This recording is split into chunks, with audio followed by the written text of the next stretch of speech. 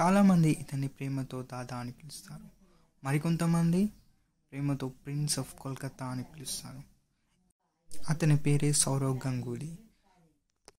సౌరవ్ గంగూలీ ఎనిమిదో జులై పంతొమ్మిది వందల డెబ్బై రెండులో అత్యంత ధనిక కుటుంబంలో పుట్టాడు కోల్కత్తాలో వీళ్ళ సౌరవ్ గంగూలీ తల్లి తన పేరుని మహారాజు అని పెట్టింది.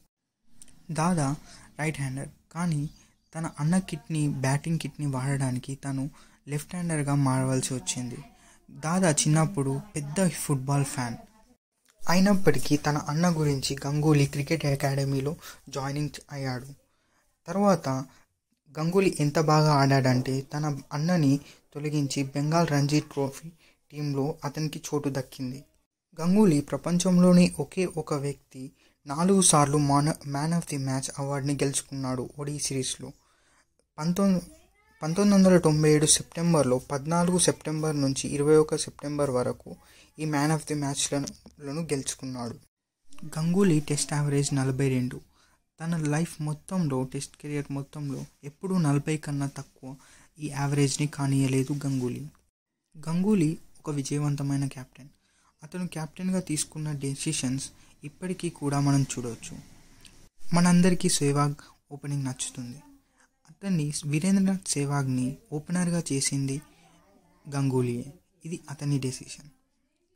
మనందరికీ నచ్చే చాలామంది క్రికెటర్స్ని ఇండియన్ టీంలోకి తీసుకుంది ఇది గంగూలీయే. వీరేంద్రనాథ్ సేవాగ్ యువరాజ్ సింగ్ హర్భజన్ సింగ్ జహీర్ ఖాన్ ఎంఎస్ ధోని వీళ్ళందరూ గంగూలీ లీడర్షిప్లోనే ఉన్నారు. వీళ్ళందరినీ చాలామందిని ప్రోత్సహించింది దాదానే. చాలామందికి గుర్తుండే ఉంటుంది ధోని మొదట్లో బ్యాటింగ్లో విఫలమయ్యాడు. అప్పుడు గంగూలీ అతన్ని మూడో స్థానానికి బ్యాటింగ్ చేయడానికి పంపించాడు.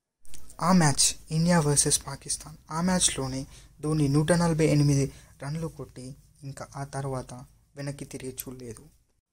గంగూలీ రియల్ లైఫ్లోనూ కూడా దాదానే. హుసేన్ మనం ఎప్పుడు ఇండియాని ఫీఫా వరల్డ్ కప్లో చూడొచ్చు? అని అడిగితే గంగూలీ ఒకవేళ నేను యాభై సంవత్సరాలు ఇండియాకి ఆడితే ఒక్కసారైనా మనం ఫీఫాలో ఫైనల్స్కి వెళ్ళేవాళ్ళం అని సమాధానం చెప్పాడు దాదా.